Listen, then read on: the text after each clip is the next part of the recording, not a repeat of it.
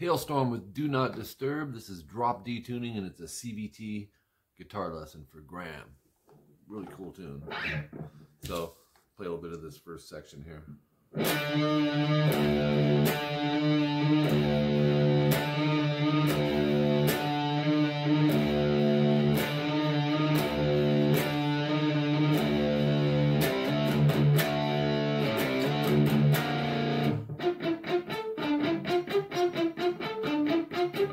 Okay, so let's jump in. It starts with an octave. By the way, this is a different video recorder, so uh, I'm not sure how it's going to come out. Kind of running a test on this uh, video.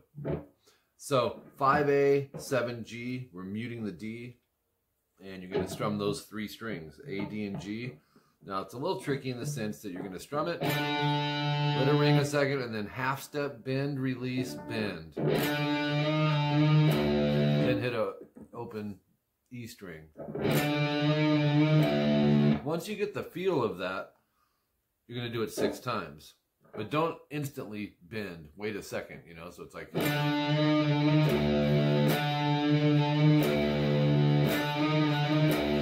right, and then, um, so after the sixth time, you'll go 3A, 5D. That's a C power chord, sliding to 5 7 and then palm mute the top string open twice, and then hit the D power chord, the 5A, 7D. Repeat it. But the last chord is 5A, 8D. So you have. And then the next guitar part comes in at 31 seconds in. This is section 1B. It's all palm muted. Most of it's on the B string six five six eight six five six and then seven G. Sounds like this. It goes twice through. Okay, then uh, the first four first three notes are the same, and then five E, and then six five six on the B, and then seven G. So the next one starts the same way to 5E, then we go 7G, then 568 on the B. So that one is. Then this next one is the same as the first one, played twice. The last one, 656, 5E, 7G, 656 on the B. So it's a little turnaround on the end. Oops. Okay, and that's how that ends. 45 seconds in, section 1C, that's the chorus. 5A, 7D, so it's a D power chord. I'm going to touch string 6 to mute it in case I hit it with the pick, which I will. And you go down, down, down, down, up, down, up, down, down, up, down, up. That's the strum pattern for three of these chords. Same thing over first and third fret. Bar uh, fifth fret, all the strings, 7G and 8B, same strum. So you have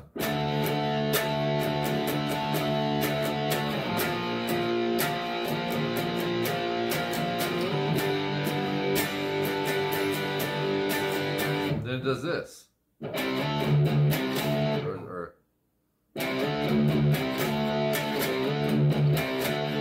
You'll go 3 5 AD, slide to 5 7, palm mute the E twice, and then C to D on the power chords, and then hit it again. Do that twice. Okay, so. Um, or, all right, and then um, you repeat everything. Second time, don't do the double dots on this. Just play one time of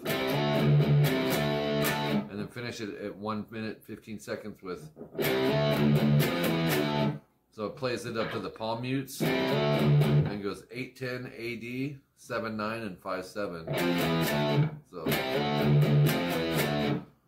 All right and then repeats at a minute 35 at 227 you'll hear a quick little fill on the guitar bar the 12th fret on the G and B and hit it again and then go to the 10th fret so it's 12 pull 10 G and then 12G. So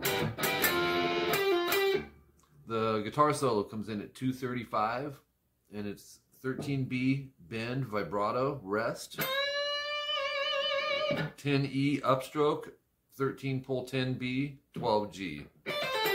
It's a great subgroup. 10 12B pull 10 so you have 13G 10B and make sure you follow the pick directions. 13, pull 12, hammer 13 on the G. 12, pull 10. 12D, 10G. So you have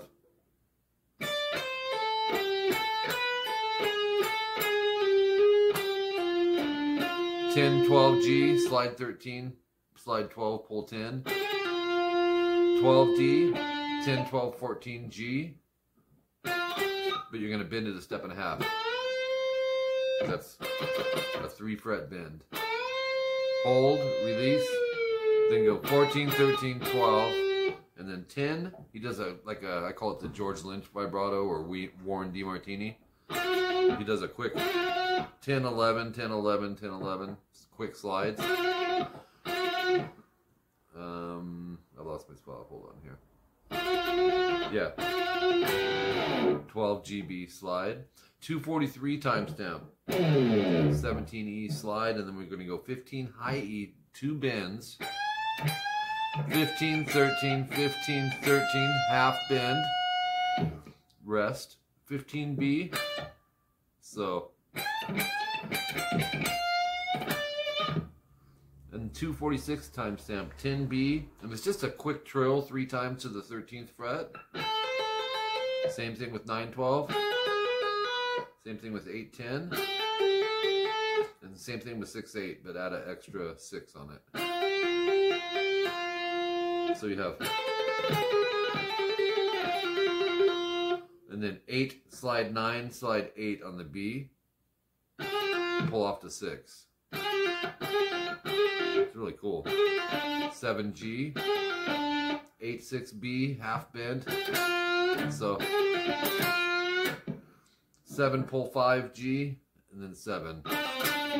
So, oops. And there you have it.